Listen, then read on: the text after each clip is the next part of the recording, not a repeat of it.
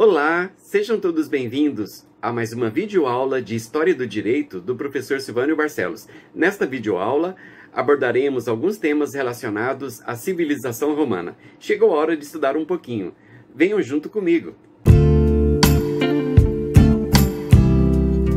Faz parte do senso comum da historiografia entender que existe um verdadeiro fascínio pela história de Roma devido à cultura que ali se desenvolveu de forma extraordinária. Bom, entre as inúmeras heranças que podemos destacar que foram legadas pela civilização romana, podemos destacar o direito romano, sem dúvida alguma, um ponto de convergência nos processos civilizacionais do Ocidente, e também a, o latim, que deu origem as línguas neolatinas do francês, é, do italiano, do português e também do espanhol. Com relação às origens de Roma, existem duas vertentes explicativas, uma de origem mitológica e outra de origem histórica. Na vertente mitológica, os, os gêmeos Rômulo e Remo foram abandonados pelos seus pais e jogados dentro do rio Tibre. Eles foram resgatados por uma loba que os amamentou. Posteriormente, passando por ali um casal de pastores, eles adotaram é, o casal de gêmeos, né, Rômulo e Remo, e quando eles chegaram à idade adulta, eles voltaram àquela região conhecida como Alba Longa e fundaram a cidade de Roma.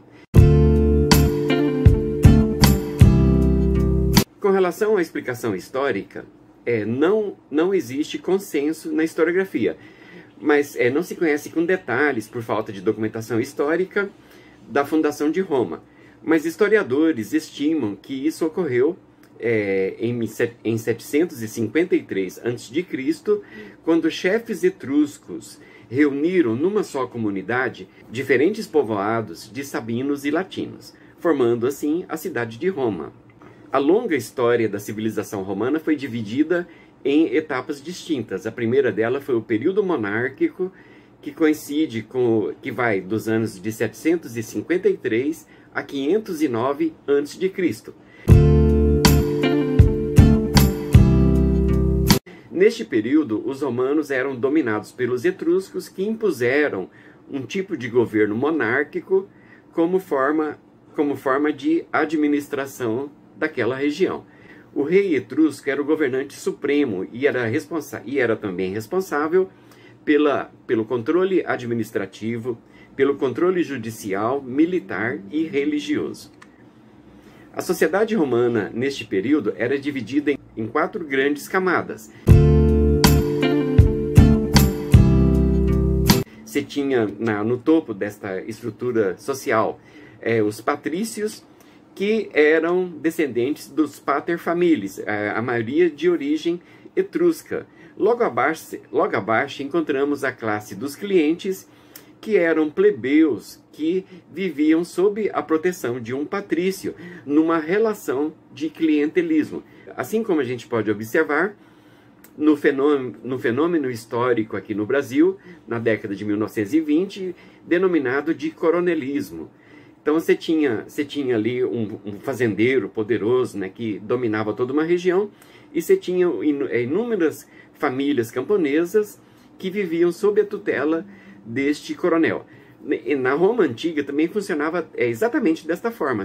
Normalmente você tinha um patrício que tinha uma grande propriedade e inúmeras famílias também viviam sob a proteção numa relação simbiótica de interesses mútuos. Logo abaixo da classe dos clientes, nós encontramos os plebeus, que fazia parte da grande massa de trabalhadores urbanos e rurais. Entre esses trabalhadores podemos destacar artesãos, comerciantes e, no meio rural, os camponeses. Na base desta estrutura social, encontravam-se os escravos, consideradas meramente instrumentos de trabalho. Em 510 a.C., um grupo de patrícios se revoltou contra o rei Tarquínio II, que havia concedido privilégios aos plebeus. Este rei havia feito algumas concessões aos plebeus, permitindo-lhes exercer maior participação política.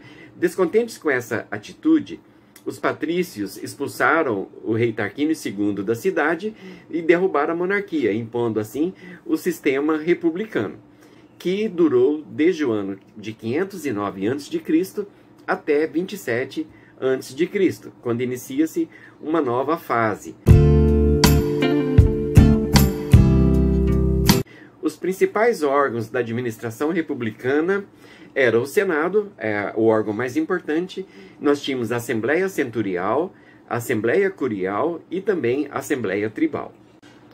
O Senado era o principal órgão da República Romana. Ela fiscalizava a ação dos magistrados e dos administradores das províncias conquistadas por Roma. A Assembleia Centurial cuidava dos assuntos de guerra e aprovava ou rejeitava as propostas do, das propostas dos magistrados. A Assembleia Centurial era responsável também pela eleição dos magistrados superiores. A Assembleia Curial, por sua vez, cuidava exclusivamente dos assuntos ligados aos cultos religiosos. A Assembleia Tribal aprovava ou rejeitava as propostas dos magistrados e elegia os magistrados inferiores, sendo eles os edis, os questores e tribunos. Então, podemos dizer que os principais cargos da República Romana era, era, eram os de cônsul, pretor, é, censor, ditador em casos de guerra, edil, questores e tribunos da plebe. O cargo de cônsul era exercido sempre em número de dois e eram os principais magistrados romanos. Exerciam o cargo por um ano, eh, presidindo o Senado e comandando o exército em casos de guerra.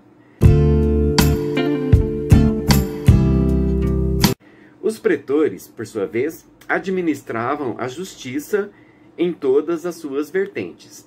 O censor, por sua vez, calculava as riquezas dos cidadãos é, com a finalidade de arrecadação de impostos e determinava quem podia compor o Senado. O ditador era eleito pelo Senado em situações de crise, em situação de guerra, assumindo a administração do Estado e comandando o exército com poderes ditatoriais, ou seja, ele tinha liberdade para agir sem aprovação do Senado. Os edis, por sua vez, eram inspetores responsáveis pelo funcionamento e conservação dos prédios públicos. O questor cuidava do tesouro público e da arrecadação de impostos, enquanto, enquanto os tribunos da plebe, isso foi uma conquista plebeia, é, inclusive que levou ao, ao fim do regime monárquico, eles defendiam no Senado os interesses da plebe. A plebe continuava a passar por grandes dificuldades também no período republicano. Os pequenos proprietários rurais plebeus, é, que eram obrigados a lutar na guerra, nas guerras de conquista, não podiam cultivar suas terras e acabavam se endividando. Para pagar essas dívidas, às vezes eles tinham que entregar suas propriedades a homens ricos, tanto patrícios quanto plebeus enriquecidos. A lei Canuleia aboliu a proibição de casamentos entre patrícios e plebeus. Com isso, um plebeu rico poderia se casar com uma mulher de família patrícia, a fim de possibilitar a sua ascensão no, tanto no meio social quanto no meio político. Uma outra conquista é, dos plebeus também pode ser verificada nas leis licínias do século IV a.C.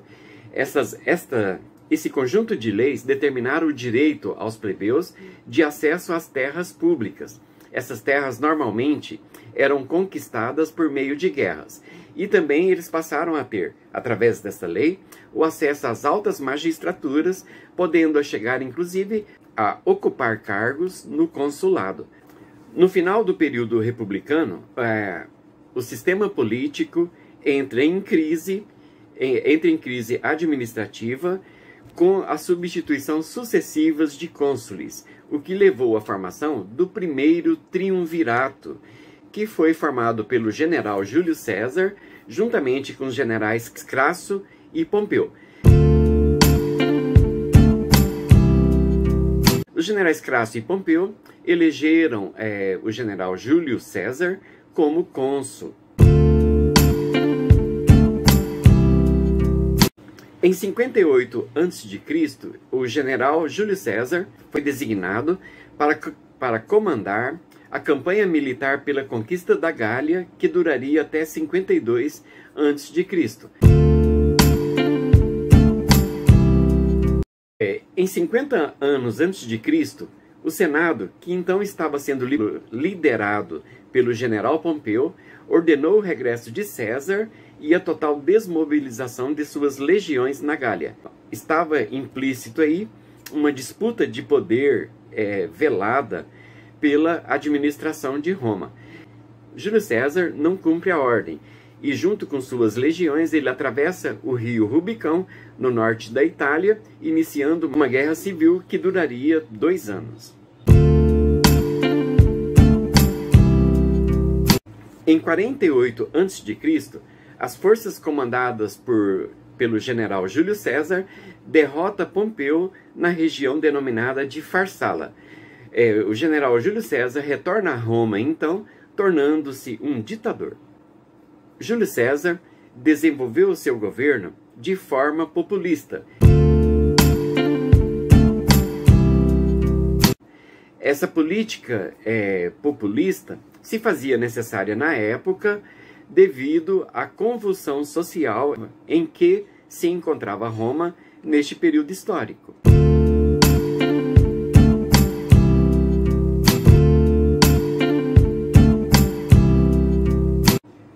Todo esse conjunto de medidas é, passa a ser conhecido como política do pão e circo. Descontentes com o governo ditatorial de Júlio César, os senadores romanos o assassinaram em 44 a.C., constituindo assim o segundo triunvirato, com os militares Marco Antônio, Lépido e Otávio. Os três houve uma disputa de poder, sendo que Otávio derrota Marco Antônio Lépido e assume o poder em 31 a.C. No século V, os povos inimigos de Roma, vindos do norte da Europa, tomaram diversas partes do território. É o que se conhece na historiografia como invasões dos povos bárbaros. Em 476, Roma foi totalmente saqueada e seu último imperador do, do Ocidente, Rômulo Augusto, foi deposto de seu cargo.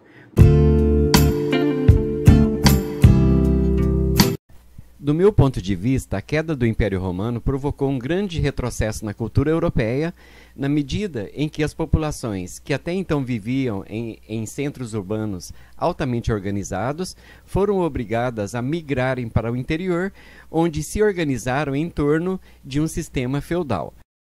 Sem a menor sombra de dúvida, o direito romano se constituiu como um ponto de convergência no processo civilizacional da história humana mas este é um tópico que trabalharemos numa videoaula específica sobre o direito romano. Eu os aguardo lá.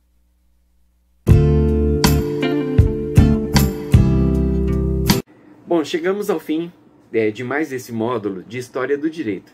Eu espero que tenham gostado e eu os aguardo em uma próxima oportunidade. Até breve.